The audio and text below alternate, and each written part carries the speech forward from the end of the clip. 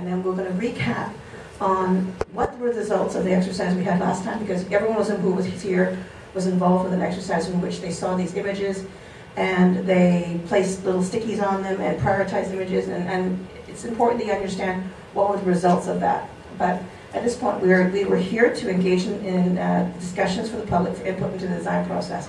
That's the stage where we're at, where we want your feedback, we're looking for your feedback to us. Um, we're going to summarize and define a program from our discussions. We've done that from the discussions we've previously had. And we're going to develop two conceptual designs for the site. We are presenting those two conceptual designs this evening. Um, and then receive feedback from the public and determine the preferred concept. That's what we're hoping to receive from you tonight this evening, is your direction to us with respect to those two designs we're going to show you this evening. Um, as Natani pointed out earlier, just for those who may be still wondering, the site that we're looking at is the little yellow box on the site. So it's bounded, you know, it's right over there. It's bounded by um, Gerrard and College and Yonge and Bay. And it's between those all those little buildings, and maybe not so little, Aura um, is the next last building um, that's being uh, constructed that, that is actually precipitating this exercise. Now, as, as I mentioned, I don't want to spend too much time on this because I do want you to have time to see the design that Pat's going to be presenting, and we do want your feedback. But just as an aspect with respect to how we actually came up with the program, we came up with the program by going through that, that exercise we had last time, where we had some images and ideas and asked for your feedback. The very first one was water feature design element. And we had asked for people's feedback on what they thought and did they think it was important. And I'm not going to go and read all the feedback on there. But ultimately, what you can see back from the number of responses back we had on water feature design element, it was deemed as being, excuse me, very important and something that should be incorporated. And you're going to notice on the bottom of this particular uh, slide, you'll see some people who said, don't like jets, to the, and some people said, love them. This is not, this is typical and it's something throughout the entire process we found. For every time there's a decision, we have an equal amount of people who have opposite viewpoints. And it's our job to kind of sift through all of that and, and present the design that, that best suits the, the constraints that we have within the site. So, water design a feature, yes, that wasn't that came back as being something that was important to be incorporated into the design. So there's more comments with respect to water. Skating a design element. Again, we received numerous comments back to us that skating was important and should be integrated. The form of the skating, again, there was some discussion of what it should look like. Um, and surprisingly, we did have some people who did say they like, thought hockey was great um, and thought hockey was was wonderful to look at in the evening and, and in the space. But it's but moreover, most people did come back with what they were looking was something like that that first image on the top, which was more trail-like and, and something that was all ages. Um, a flexible gathering space or a main events plaza. You guys came up 50-50 on this. Half of you said it was really important. Other half of you said, nope, don't want it, don't, don't, don't like it, don't want to include it.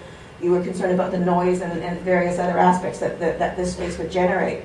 Um, so it, it, was, it's something that we had to consider, but it was a 50, almost perfectly split 50-50. Equally 50-50 was the community, community plaza. In the community plaza exercise that was through PPS, they identified community plaza as a children's space possibly. We brought that forward to the group. 50% of you said, and exactly 50% of you said, yes, children's play area, very important, absolutely a must. 50% of you came back and said, no way, no how, uh-uh. Do not do it. So again, it's something that we're going to need to discuss, and it's, it's, it's, it's incorporated in many of our designs, but it is, a, it is a discussion point that we need to come back to you people with. Promenade and gardens. Generally, there was, there was feedback with that, and, and there was smaller amounts of feedback with that, but all of the feedback that we did receive did say that they thought gardens were important. We did have a mixture about what type of a garden should be, what a garden should be, but there was some, some positive feedback that those elements and a garden element should be included within the design. Oh, do we have more people? If you want to come on in, just come on into the room. Okay? We can also bring your chairs in. If we have to, we can get more chairs in. Pavilion. We talked about the pavilion, and a number of responses came back that They didn't think a pavilion per se with washrooms was important, um, but many people did feel that a pavilion of some sort, um, whether or not it was someplace to store your things or to put on your skates, and it didn't necessarily have to be enclosed. That did come back from, from the feedback we got from the group. Constructed elements. Um, from the constructed elements discussion, what did come back to us as feedback from you was that many of you felt that gateway features was a very important element that should be considered. And a gateway feature as a unifying element or, or entry point into the various components of the park. Um, and then again, landscape character. Um, less comments on the landscape character, and actually, the number of comments you see on the screen are exactly the amount of comments that we received back. So less than there were with respect to other elements. So it was perceived as not being as important to you as a group, but still the comments that we, we did receive were very important to us. That they did they did direct us on what you were actually looking for. Um, pedestrian circulation, minor comments that were that were generated, um, but did mention things such as no grass, um, flowers, and the concern with respect to maintenance, and, and the desire for long, winding walks. And that came up more than one occurrence when we actually read some of the feedback sheets as well that came back from you. Site furnishings and, and seating opportunities. Um, we did receive quite a bit of feedback, and, and many of it, the, much, very much of the feedback was very much directed the same kind of thought. Variety of seatings. You were looking for a variety of opportunities, but there was a general concern with respect to flexible seatings and them being stolen. And that did come back from a number of feedback, a number of uh, feedback sheets. But the desire to have good quality seating and the desire to have actually shaded seating was something that did come back to us on, on several points. Um, public art. We asked you in a very general sense, what do you think about public art? Should we actually be looking at it? And the answer was no.